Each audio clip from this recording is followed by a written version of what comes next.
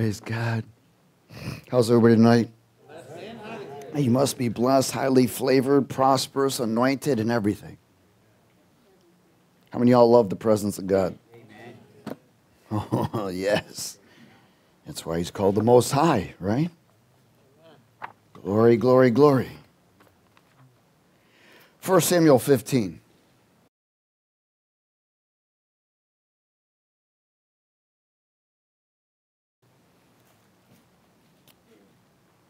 Training for reigning. Everyone say, I'm being trained up. We don't do Bible studies, we do training sessions out of the living word. In 1 Samuel chapter 15. Glory to God. Is everybody there? In verse 17.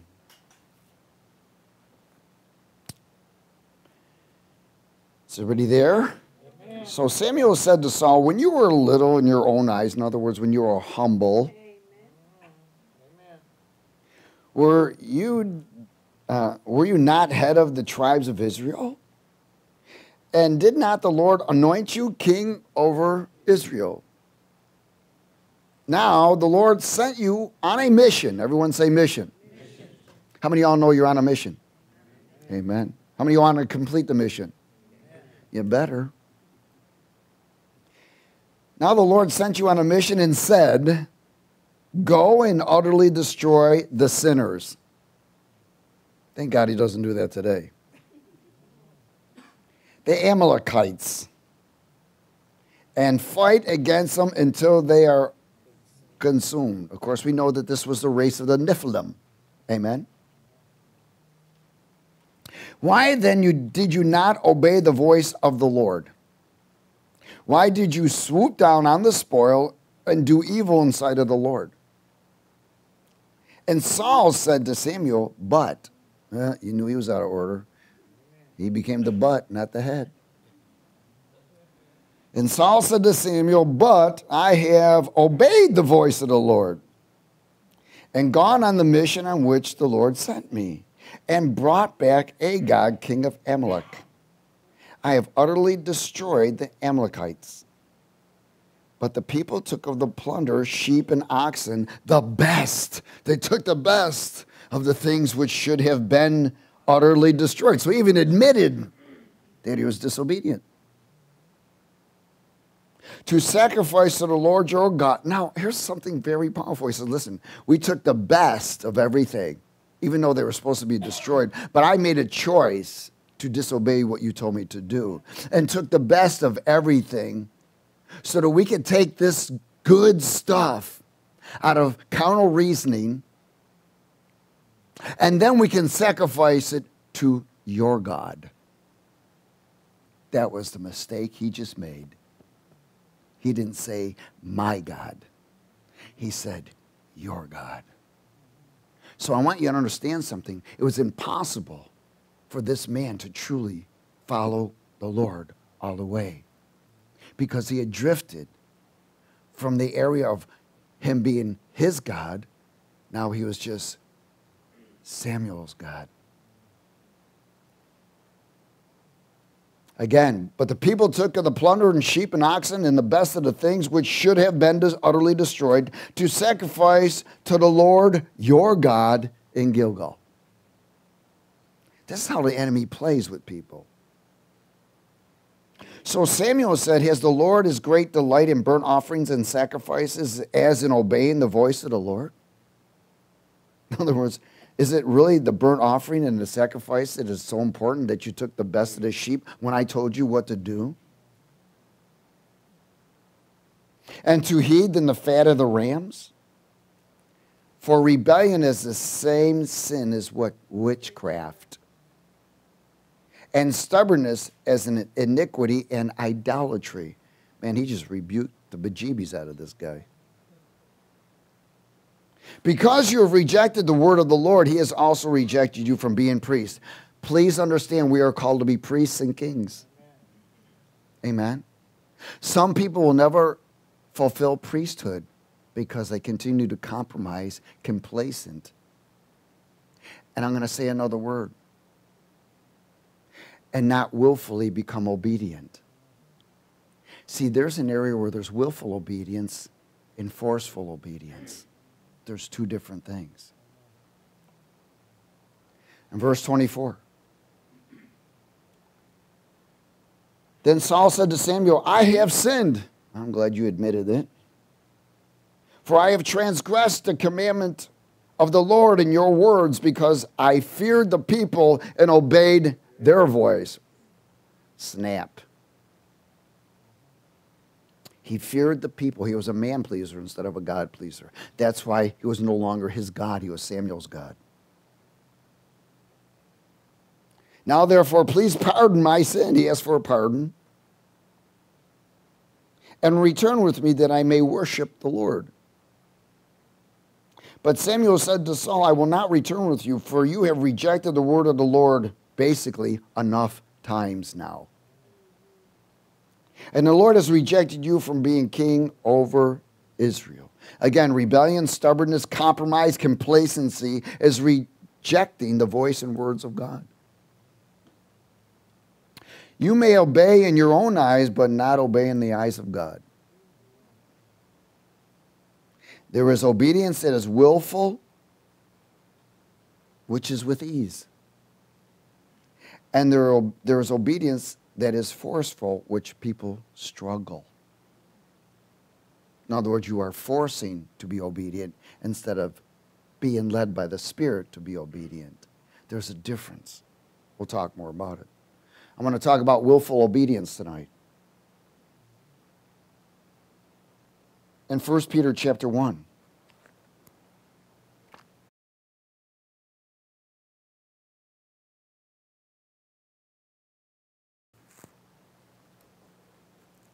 That's why the word says the spirit brings life, but the letter brings death. First Pete chapter 1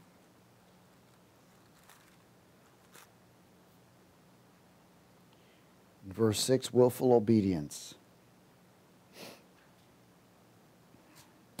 1 Peter chapter 1 and verse 6, let's speak it. In this you greatly rejoice, though now for a little while, if need be, you have been grieved by various trials, that the what? Genuineness of your faith. Now remember, your faith is your connection with Him. Because the lack of connection with Him is lack of faith because He is the substance of everything. That the genuineness of your fellowship, your communication, your connection to the Lord, being much more precious than gold that perishes though it is tested by fire, may be found to the praise, honor, and glory at the revelation of Jesus Christ, whom having not seen you love. Though now you do not see him, yet believing you rejoice with joy inexpressibly and full of glory, receiving the end of your faith, the salvation of your souls. This is genuineness of your faith. In other words, God's checking the genuineness of your obedience. He wants to know if it's truly willful or it's forceful.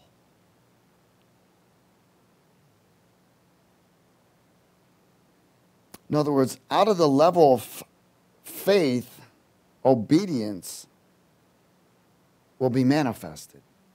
The level of your faith will also be associated with the level of your obedience. Faith, hmm, again, is your connection and closeness. The genuineness of your obedience because you love Him.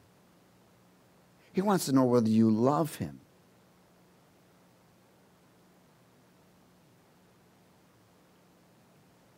you know, so many people want to obey because they fear going to hell. There's a difference. Man, I need to obey God or I'm going to go to hell. That's a terrible relationship.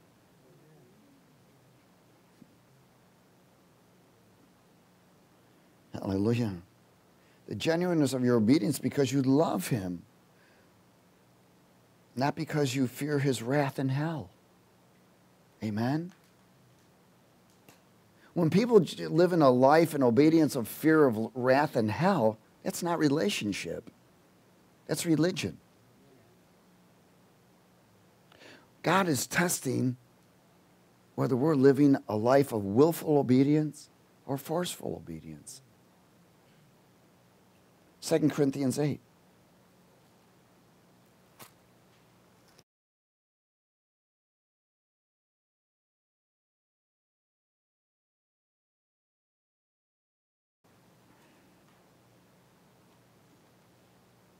Second Corinthians 8, verse 1 through 7.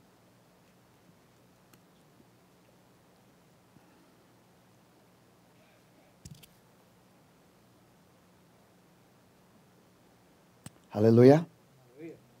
Let's speak it. Moreover, brethren, we make known to you the grace of God bestowed on the churches of Macedonia, that in the great trial or affliction, the abundance of their joy and their deep poverty abounded in the riches of their liberty or their freedom. For I bear witness that according to their liberty, yes, and beyond their um, for their li- ability, yes, and beyond their ability, they were what?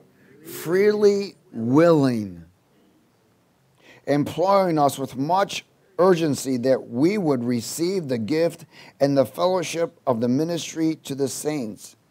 And not only as we had hoped, but they first gave themselves to the Lord and then to us by the will of God. So we urge Titus that as he had begun, so he would also complete this grace in you as well. In other words, obedience from the pure heart is different than obedience from the head. Amen. Obedience from a pure heart is willful obedience. This is an obedience with no desire of return. This is an obedience without recognition. This is an obedience without reward.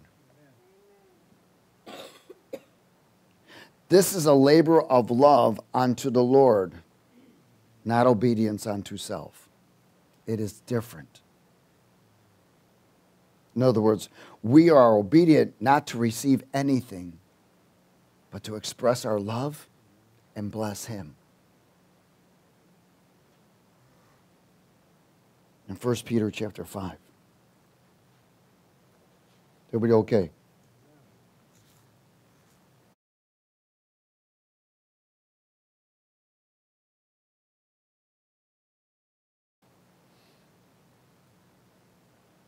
Hallelujah. 1 Peter chapter 5 and verse 5. Willful obedience.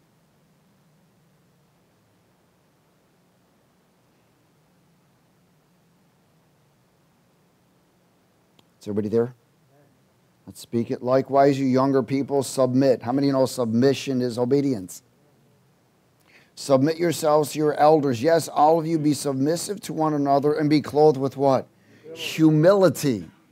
Humility.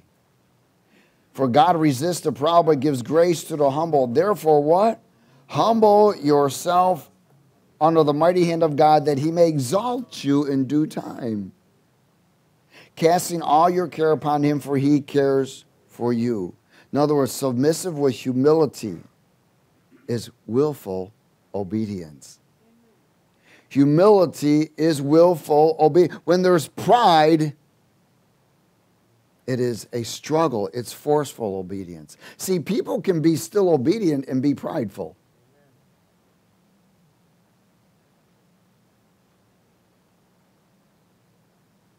And they're proud of their obedience.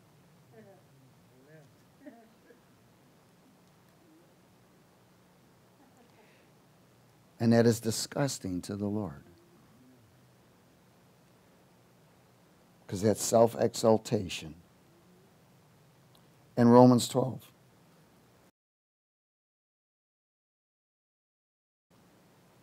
Romans 12.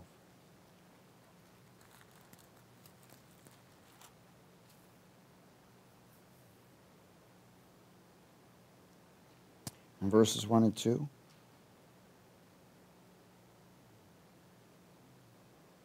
Let's speak it, please. I beseech you, therefore, brethren, by the mercies of God, that you present your bodies a living sacrifice, holy acceptable to God, which is your responsibility or reasonable service. That's a daily process.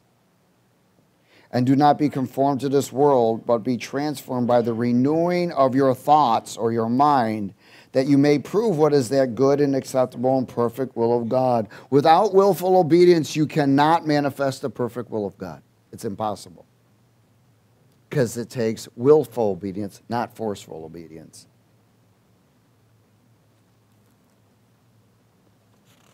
Amen? Go to 1 Peter chapter 1.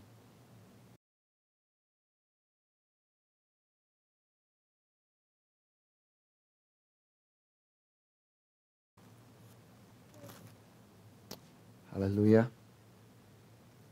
1 Peter chapter 1 verse 22.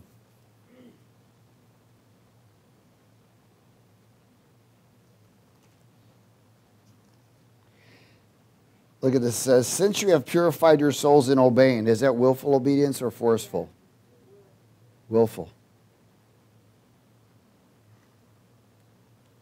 Since you have purified your souls in obeying the truth through the Spirit in sincere what? Love. Of the brethren. We're going back to this again. Love one another fervently with a what? Pure heart having been born again, not of corruptible seed, but incorruptible through the word of God, which lives and abides forever, because all flesh is as grass, and all the glory of a man is the flower of the grass. And the grass withers and its flower falls away, but the word of the Lord endures forever. Now, this is the word which by the gospel which preached to you.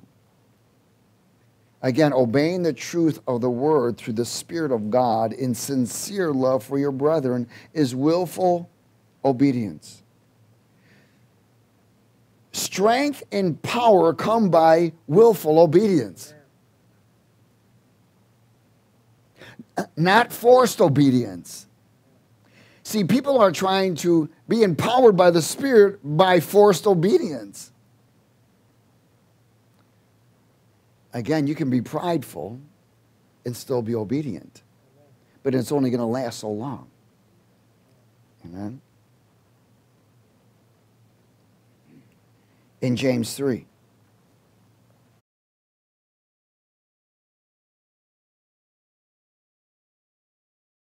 There's something about willful obedience. It's consistent. Consistent. It doesn't waver.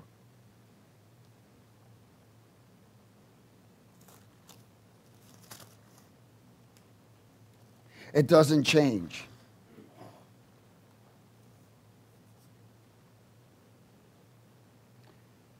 In James chapter 3 and verse 13.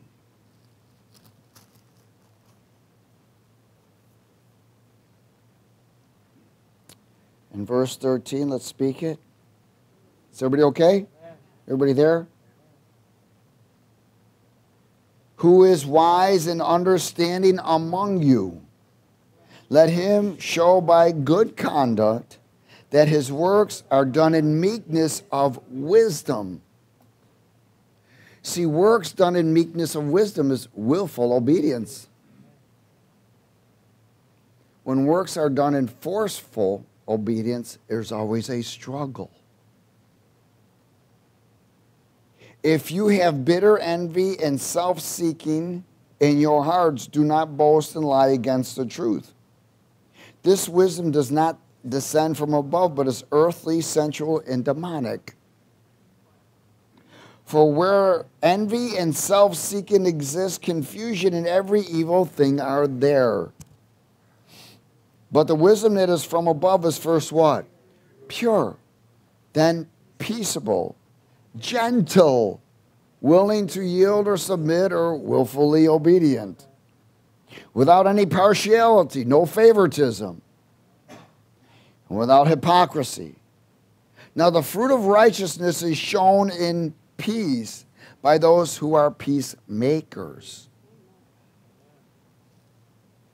Willful obedience aligns with the word and wisdom from above. willing to yield is willful obedience to Christ's character as a peacemaker, not an agitator. Amen? First Thessalonians 4.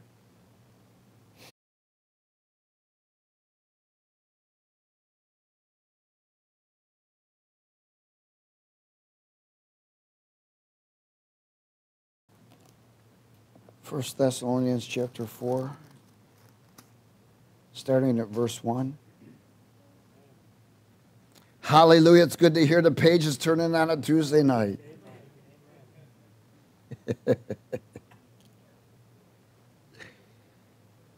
we turn them fast enough, you can cool your neighbor off.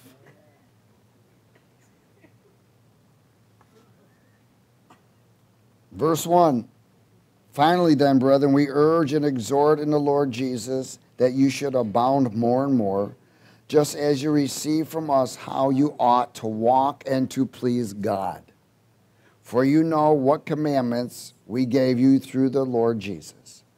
For this is the will of God, your sanctification, that you should abstain from sexual immorality that each of you should know how to possess his own vessel in sanctification and honor, not in passion of lust, like the Gentiles who do not know God, that no one should take advantage of and defraud his brother in this matter, because the Lord is the avenger of all such, as we also forewarned you and testified. Powerful. For God did not call us to uncleanness, but holiness. Now, can you become considered holy without willful obedience? No. Therefore, he who rejects this does not reject man, but God, who has also given us his Holy Spirit. Wow. Very powerful. Willful obedience not only pleases God, but positions us in sanctification in relationship. Now, think about this Enoch was taken because he lived a willful, obedient life by pleasing God. He was taken.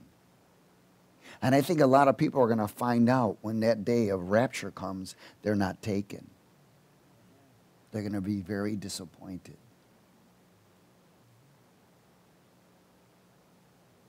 In Matthew 11.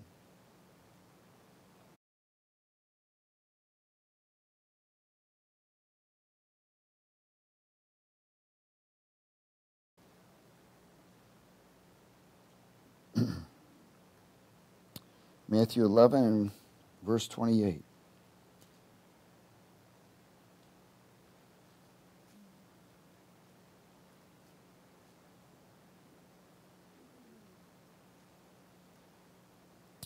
Willful obedience always brings a position and place of rest. You're not anxious. You're not worried. You're not fearful.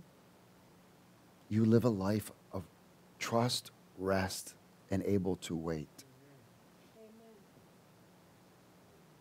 In verse 28, he says, Come to me, all you who labor and are heavy laden, and I will give you rest.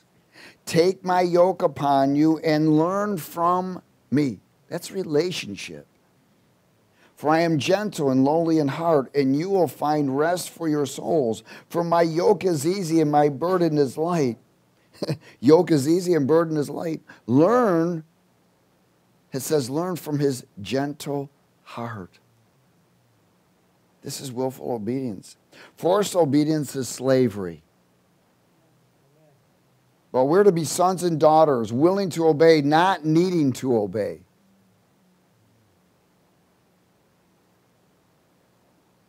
Because we have true relationship.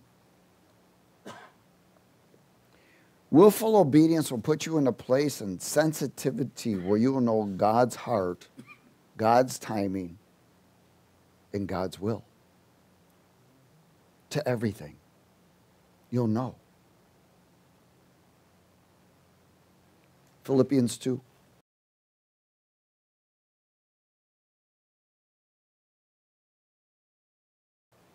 And what you don't know, you know it's going to work to the good.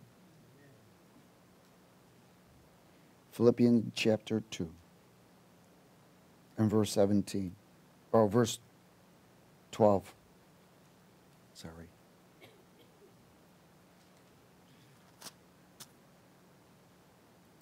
Philippians 2:12.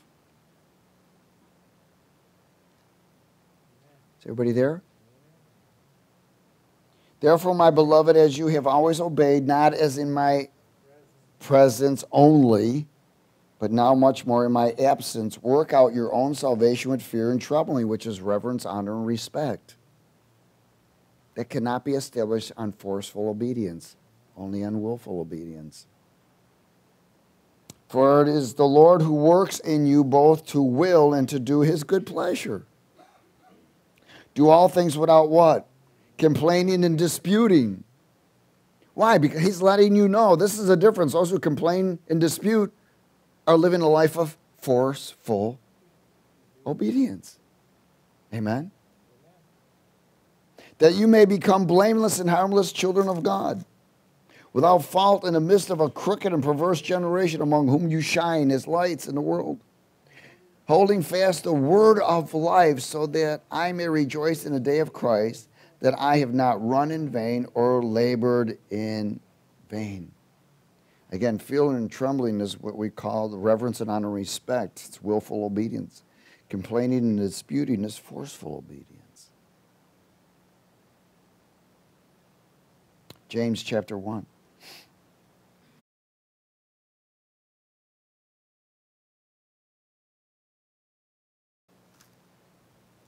You know, you may be around someone that every time they're asked to do something, there's always a resistance. Oh, man. You know, you know, they always give you an attitude like, can't you get somebody else to do that? But then they'll do it. That's forceful obedience. What did I say to go? James chapter 1?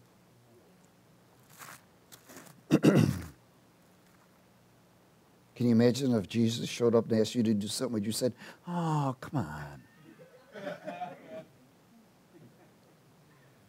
Can't you get somebody else to do it?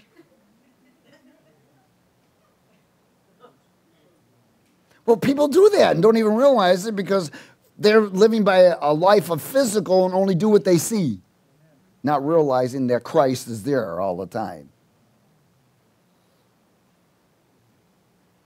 Hallelujah. James 1 21. Let's speak it. Therefore, lay aside all filthiness and overflow of wickedness, and receive with meekness the implanted word which is able to save your souls. But be doers of the word and not hearers, only deceiving yourselves. For if anyone is a hearer of the word and not a doer, he's an idiot. Uh, he is a. Uh, He's like a man observing his natural face in the mirror. For he observes himself, goes away, and immediately forgets what kind of man he was. But he who looks into the perfect law of freedom, liberty, and does what? Continues in it, and is not a forgetful hearer, but a doer of the work, this one will be blessed in what he does. If anyone thinks among you thinks he's religious, and doesn't bridle his tongue, but deceives his own heart, this one's religion is useless. Doer means a manifester of his God's living word in the life that they live, because they live a life of willful obedience. Amen? That's why we are sons and daughters. Listen, we are not servants of forceful obedience. We are stewards of willful obedience. Amen? Praise God. I'm going to close at 1 Peter 4. Simple, short teaching.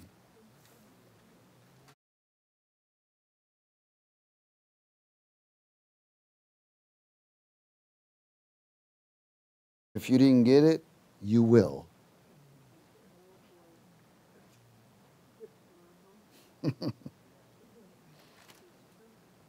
Oh, glory. Verse 7, 1 Peter 4 7.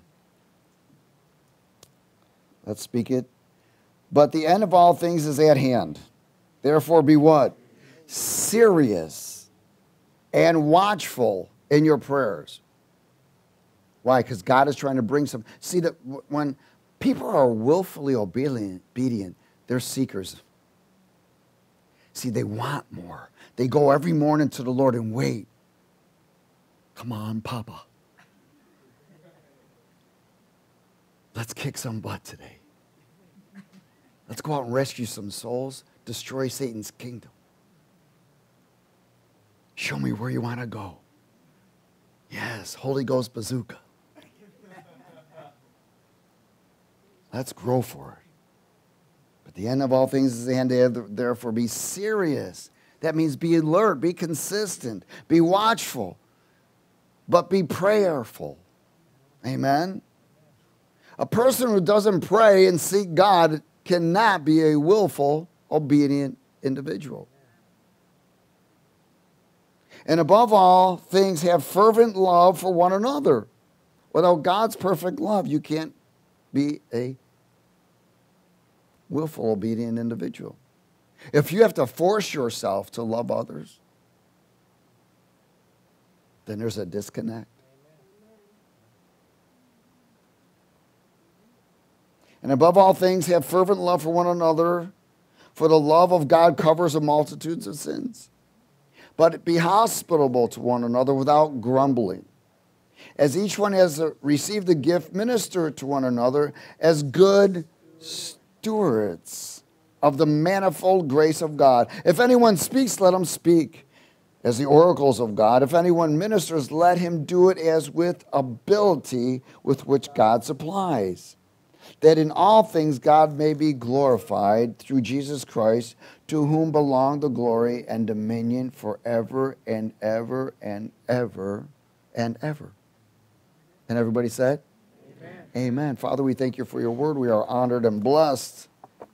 Lord, we repent in any way for forceful obedience. We want to willfully obey you and use our free will in every area, submitting it to you. Because we love you, we adore you, and we are very grateful. And we live a life to please you and not ourselves. So, Lord, in every area, in any area we have sought self before you, we repent. Have mercy upon us and let your grace abound.